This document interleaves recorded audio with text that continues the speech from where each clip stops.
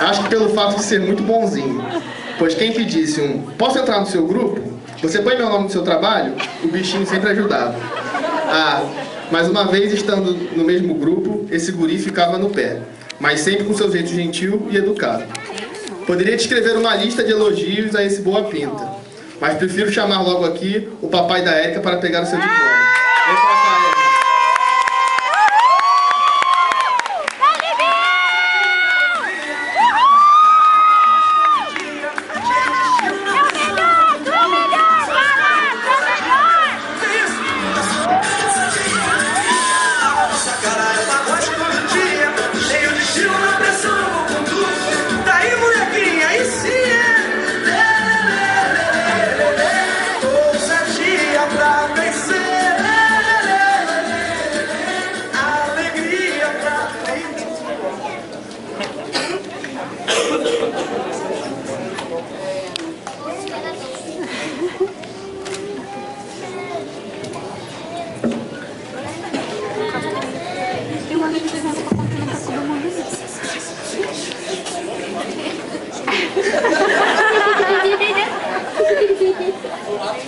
Aí.